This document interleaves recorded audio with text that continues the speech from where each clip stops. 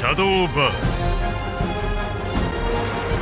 人よ栄光を望むか人よ繁栄を願うかならば我らが試練を与えよう。我らは災い。我らは福音。人に試練をもたらし人を高みへと誘う者。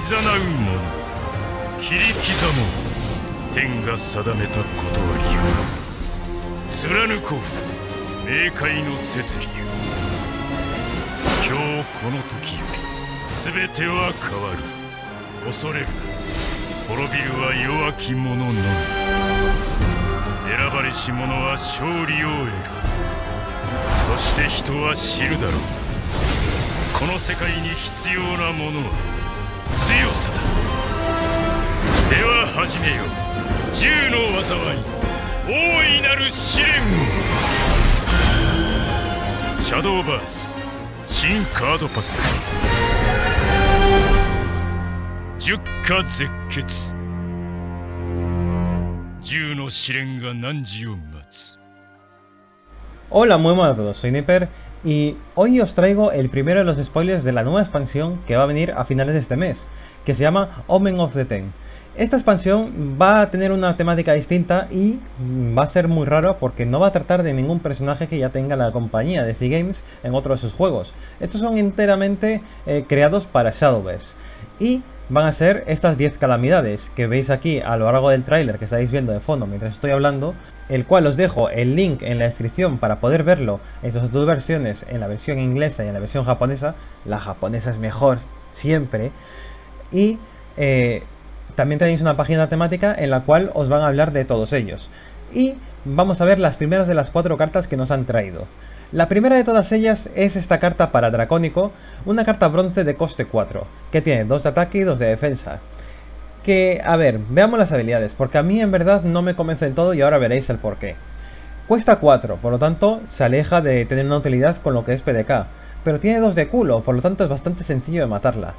Lo único bueno que tiene es que no puede ser atacada y durante el turno del oponente, si un combatiente ataca a tu líder, inflige 2 puntos de daño a ese combatiente y pierde el efecto.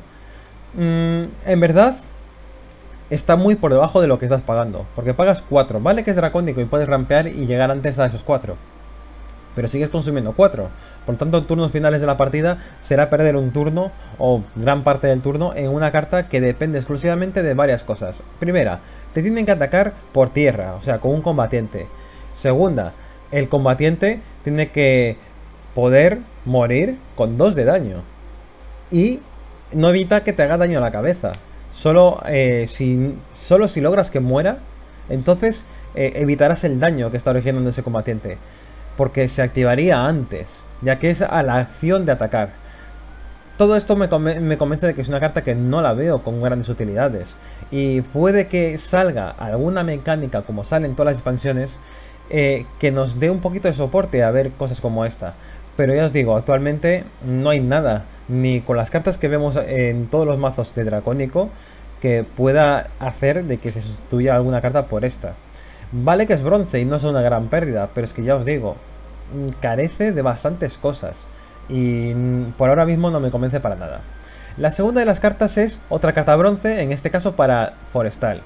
Que en este sentido ya es un poquito mejor, porque son 2-2 por coste 2, por lo tanto ya estás pagando bien las estadísticas, y tiene una habilidad de preludio que es un combatiente enemigo pierde 1 al ataque hasta el final del turno del oponente.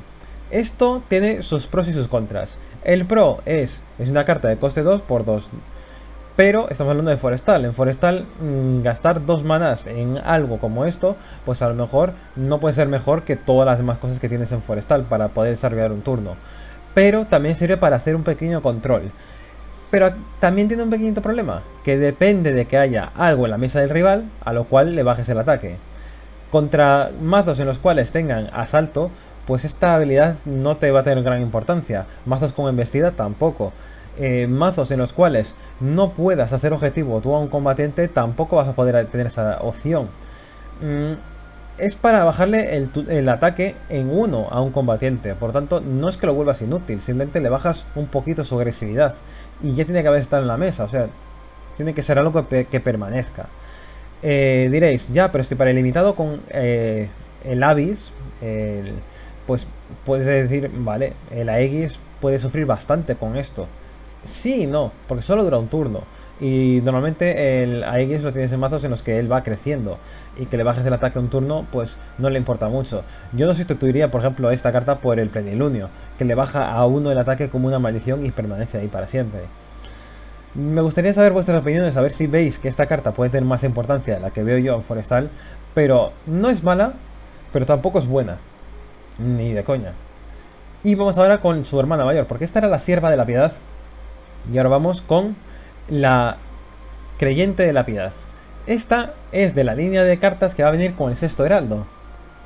Que es un abuelito arquero, el cual obviamente va a estar en forestal. Porque en el propio tráiler, como habréis visto, se ve que está disparando unas flechas que son así como con forma de hoja. Y tiene el sobrenombre de La Piedad. Cada una de las calamidades, cada uno de los heraldos que hemos visto en el tráiler, trae una prueba a la humanidad. Y en este caso van a traer la piedad, que tiene sus características de una manera un tanto peculiar.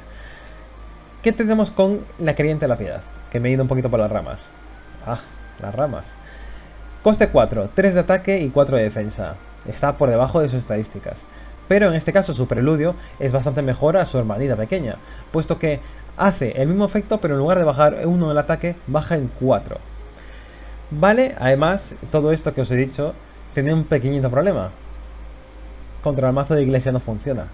Recordemos que el mazo de iglesia se caracteriza por usar la defensa.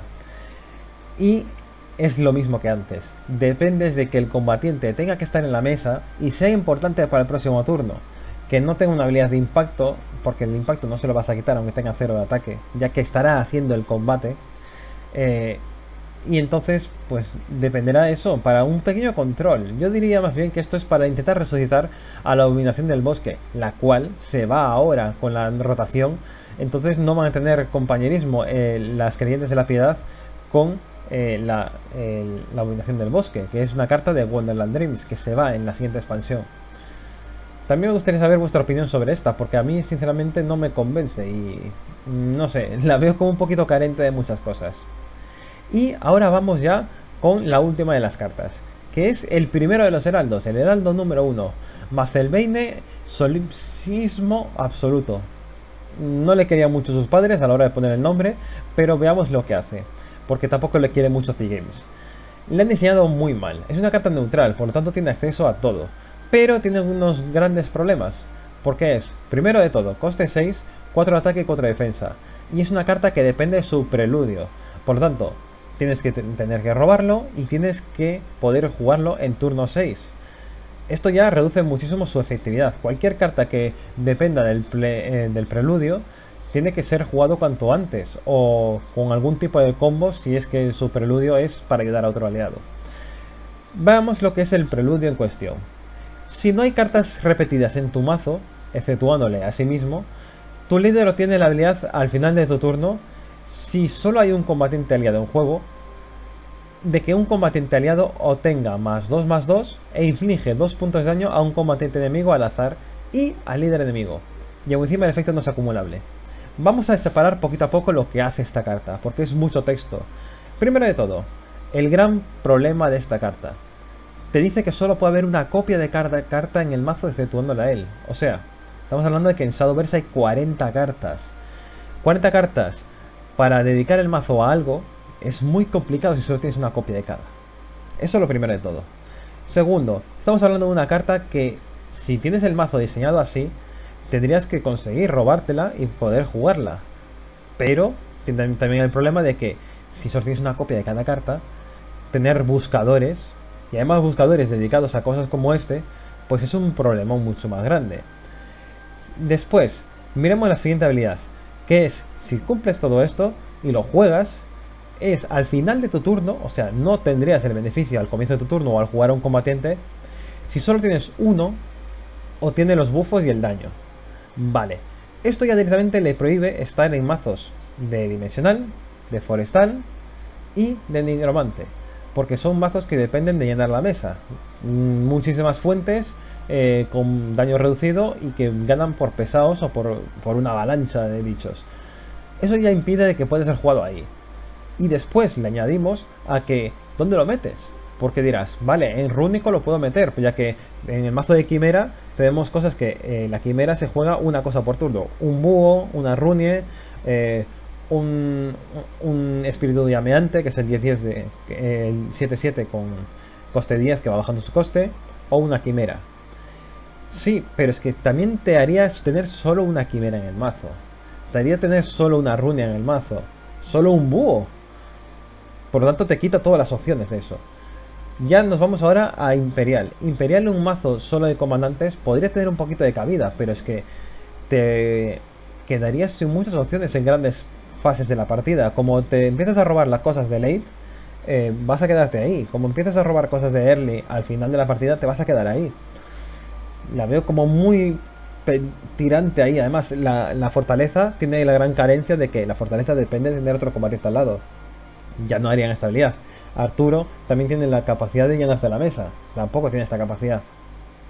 Y el único en el que veo yo que puede tener así gran potencial podría ser, bueno, gran potencial, dentro de lo que cabe, porque yo no le veo mucho potencial a esta carta, sería o en vampírico de control, ya que estarías jugando, por ejemplo, Joe, eh, Joe eh, Nats, eh, que es Valpurgis, cosas así. Juegas una cosa por turno, vas haciendo dañitos, vas haciéndote daño de ti mismo, pero solo juegas una cosa por turno. Ahí podrías llegar a utilizarlo. Pero ya tener una sola copia de cada, y además ahora que en Vampiri con rotación se va eh, la Esmeralda, que es la, la, que partía la pana en turno 7, pues también tiene grandes problemas. Y nos quedaría también Dracónico. Que Dracónico es la única en la que tal, porque tus bichos de... Tú puedes rampear, reducirías mucho la capacidad de poder rampeo, porque tendrías solo una copia de un oráculo de dragón, solo una Ealia, solo un Roy, etcétera, etcétera. Pero tienes en las fases finales de la partida, puedes jugarte Ácida Haka, Zoei, eh, si estás en el limitado, el dragón del Génesis, los diferentes Bahamut que hay, etcétera, etcétera. Si se juega, yo creo que se va a jugar en Dracónico, pero ya os digo, me parece muy, pero que muy mala. Espero vuestras opiniones en la caja de comentarios y aquí estoy de vuelta con los spoilers. Eh, sabéis que me podéis seguir en la página de Facebook en la cual voy a ir subiendo todas estas cartas a medida que las vaya consiguiendo y allí podéis comentar lo que queráis. Y también tenéis mi Twitter en la cual tengo los mensajes abiertos y me podéis eh, taguear eh, o nombrar en donde queráis, que yo siempre voy a ir contentísimo a contestaros, así como en la caja de comentarios donde siempre que queráis podéis escribir las cosas, obviamente relacionadas con el vídeo, y yo os contestaré con mucho agrado. Nos vemos en el próximo vídeo. Hasta luego, hasta otra.